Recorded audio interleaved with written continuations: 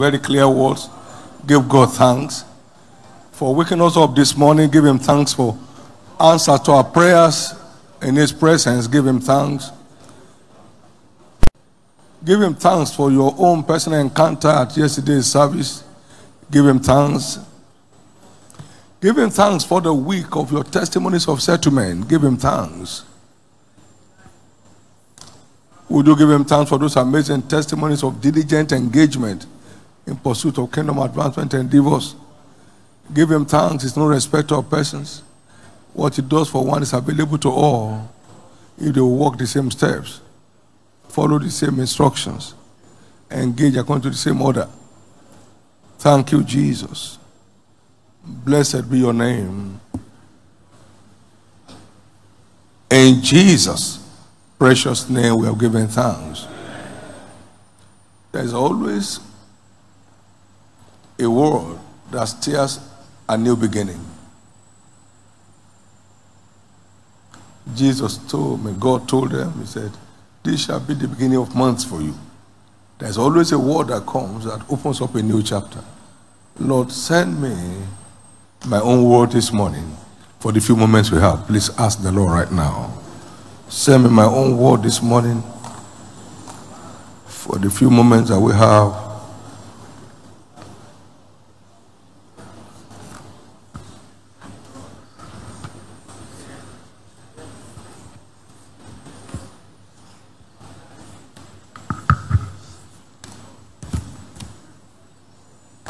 When the word of Joseph came, everything turned in his favor. Send me my word this morning. In Jesus' precious name we have prayed.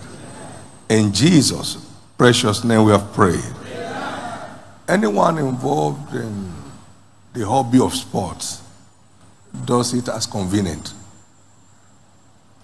But anyone that gets involved as a professional engages with the rules. I may not be available to play tennis for one week, for two weeks, for one month. I have my choice.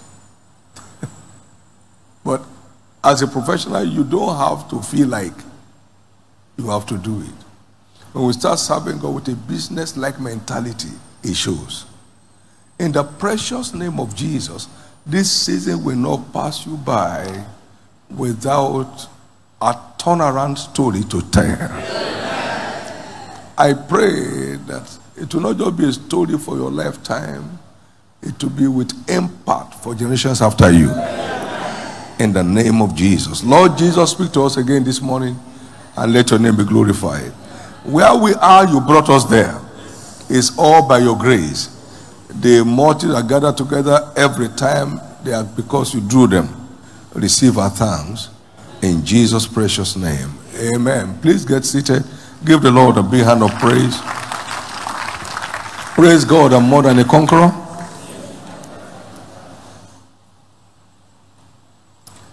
As we all know, church growth is warfare. Luke 11, 21 and 22. When a strong man fully armed keeps his goods, his goods are in peace. But when a stronger than he shall come upon him and overtake him, it takes away the arms in which he trusts and then let go his captives. Church growth is warfare. Church growth is warfare. The devil wants to keep the people bound, and then we step in and say, No way, get off your hand, you poor devil, and let go of these innocent people. But nothing wins the war against the powers of darkness like light. Arise, shine, your light is come. And the glory of the Lord is set upon thee. Isaiah chapter 60. Darkness shall cover the earth and gross darkness the people, of the Lord shall arise upon thee, and glory shall be seen upon thee. And the Gentiles will come out of darkness to thy light, and their kings to the brightness of your rising. Impart in spite of darkness. Impart in spite of gross darkness. That's the natural heritage of light. And the light shines in darkness, and darkness comprehends it not. John 1 5. And the light shineth in darkness, and the darkness comprehended it not. Was helpless, could not resist it. Just like in the natural, you turn on light, darkness flees. For instance, many believers are very cautious about vengeance. But Jesus taught us to pray vengeance prayer. Avenge me of my adversaries, that woman said. And the judge said, Look, uh, even though I don't fear God, nor man, nor regard man, but because this woman troubled me for vengeance, I better get up and act. He said, And shall not the Lord, verse 8, avenge his own elect And I tell you that he will avenge them speedily. Verse 7 to 8. That's Jesus saying you need to engage the prayer of vengeance whenever you notice stiff oppositions to my agenda. So, vengeance is the will of God. And it usually precedes the breakthroughs of God's people vengeance.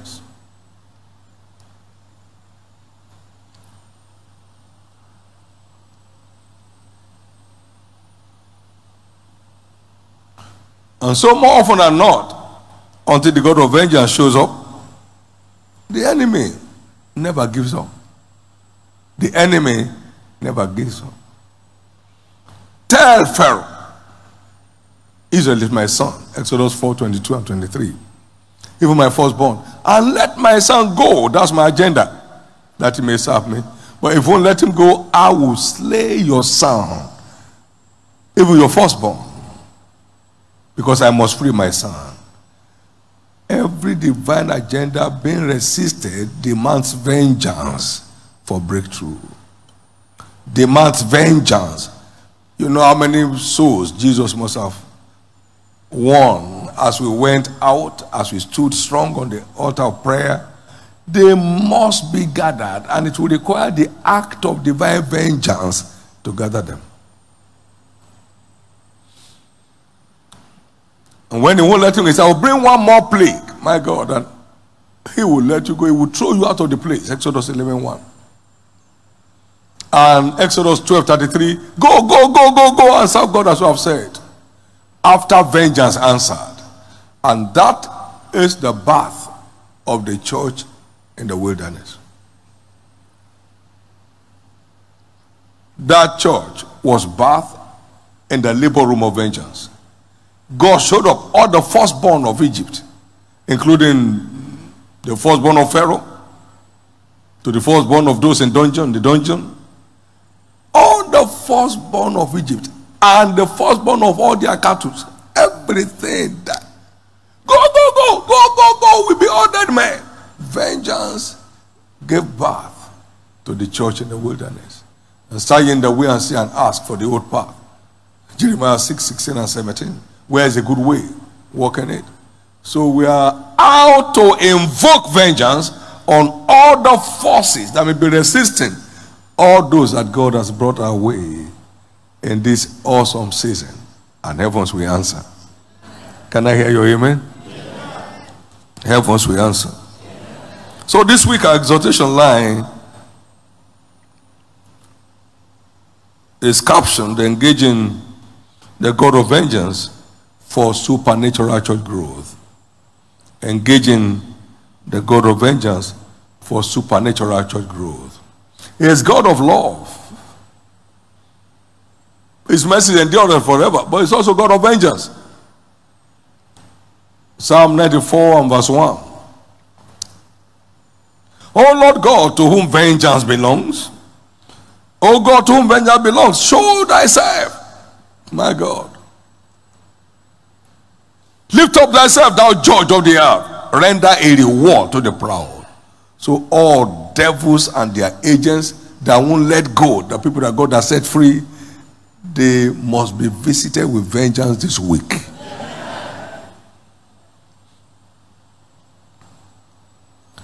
Remember, church growth is warfare.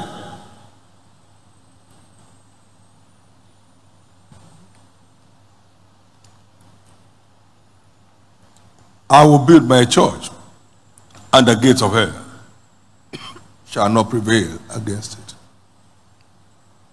Matthew 16 and verse 18.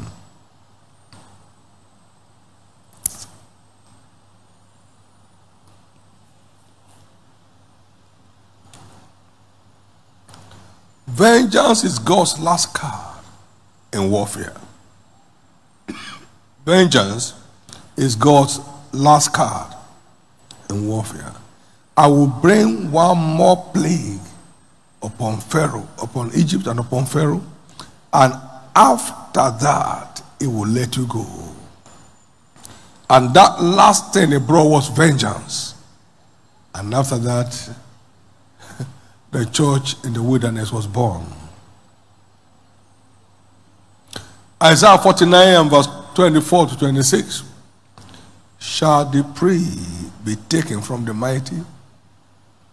Or the lawful captive delivered? But thus said the Lord, even the captives of the mighty shall be taken away, and the prey of the terrible shall be delivered. For I will contend with them that contend with thee, and I will save thy children. And how will he do it? And I will feed them that oppress thee with their own flesh. And they shall be drunken with their own blood as with sweet wine.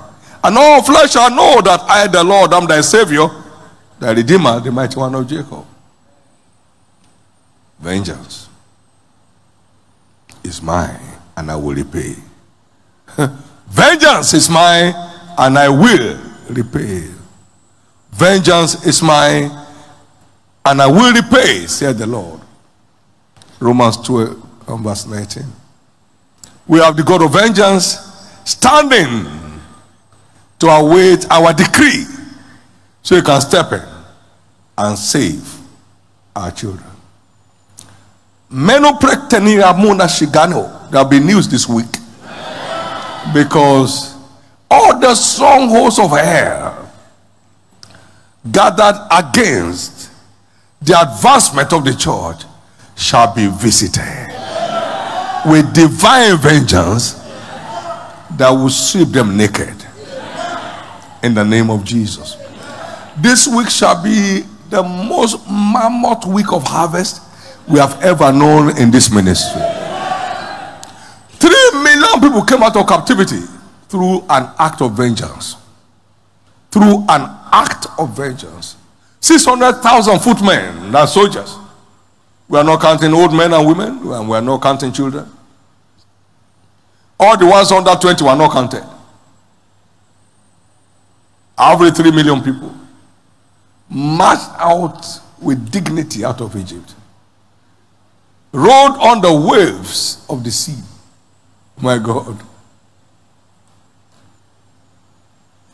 Feeding fat on the grace of God for 40 years. Stand to your feet. In the same vein, whatever is resisting your heritage in Christ must be visited with vengeance. You want to pray, you can't pray. It's time for vengeance to answer. You want to move, you can't move. You are just pretending as moving. It must bow today. Now, Psalm 94, verse 1 to 4. Pray that prayer. Come on now. Open to Psalm 94. Okay, verse 1. Oh Lord God, to whom vengeance belongeth. Oh God, to whom vengeance belongeth, show thyself. Lift up thyself, thou judge of the earth, and render reward to the proud. Lord, how long shall the wicked, how long shall the wicked triumph? How long? How long? Verse 4. How long shall they utter and speak hard things? And all the workers of iniquity boast themselves. Oh Lord, to whom vengeance belongeth, show thyself. Oh Lord, to whom vengeance belongeth, show thyself. Oh Lord, to whom vengeance belongeth, show thyself. Let this be a week of release to every captive of the devil. Rade poradi shagalabalot. Matekate keteketeno. Meketokane. Maleketekenero. Sheelo. Breela. Tano. Thank you, Father.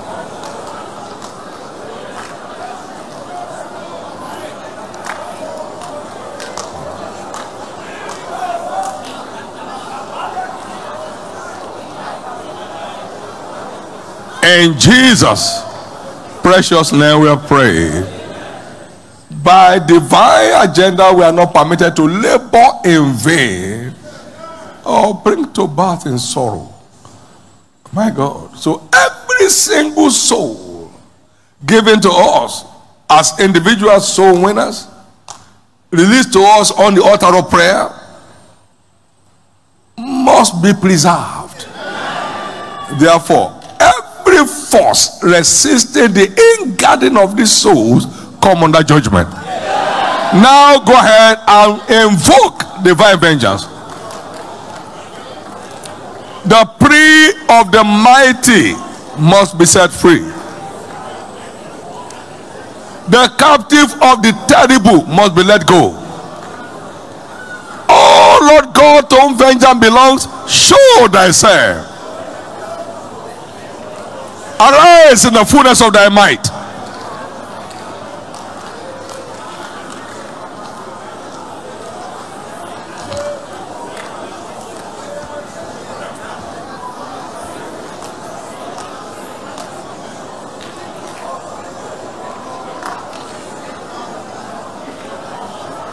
In Jesus' precious name we are praying. Now we're coming into the end of this operation. And at the end it shall speak. Therefore, be not slothful in business, but fervent in spirit, serving the Lord. Be instant in prayers. Fervency is a requirement for these last two weeks. Ferv- genuine fervency. That my son put down his pastoral title and went straight to engage. And heavens opened up. First level, second level, my God. Brand new building completed and handed over to you for free. What kind of thing is that? Amen. Come and say favor. That's the overall summary of what belongs to those who serve God in truth and in deed. Who are committed to the interest of his kingdom. So you'll be visited with favor. Nothing can bring about a four quantum leap in a man's life except the favor of God, as it was with Joseph. Therefore, expect to be visited with favor based on your fervency of engagement. Fervency. Don't play religion. Don't sit down there like a casual person. No, get, get, get serious about what you are doing. Thank you, Father.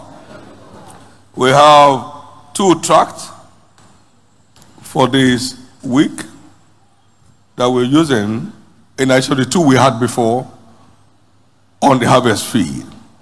Striking encounters with the miracle working God, as we have it here. We enjoy prophetic covering here at Winners. Even our buildings scare people, sir. My God. Let's pray. Holy Ghost, breathe upon this tract and let it bring people out of captivity into their liberty.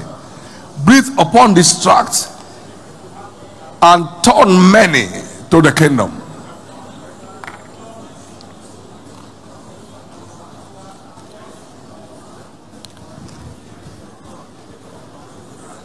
In Jesus' precious name we are praying. And then we have these two for us to enlighten us on what to expect in response to our engagement. Don't keep it, oh. study it. Don't let this pass you by. We only take hold of what belongs to us by revelation, by knowledge. Amen. Amen. Somebody was carrying uh, people with his vehicle up and down, hiring bosses, the same person. What's the problem? No, light. He caught light. And does he have problem? No. He got solutions. Search for your hand. Lord, give me understanding. I want to be part of this move and a partake of the blessings thereof. I must not be left behind. I must not be left behind. Help me to invest maximally of my time, my energy, and resources these last two weeks to the glory and praise of your name. In Jesus' precious name, we are praying. Now lift up those two hands. Be blessed and remain blessed. None of your efforts shall be wasted. Your labor shall not be in vain. In the name of Jesus. The favor that breathes diverse quantum leaps will locate you this week. And so shall it be. Take hold of the day right now. Everybody, take hold of the week.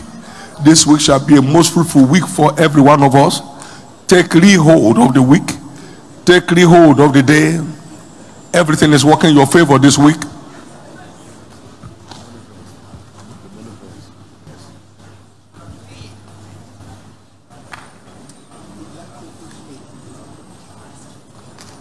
and give him thanks for it.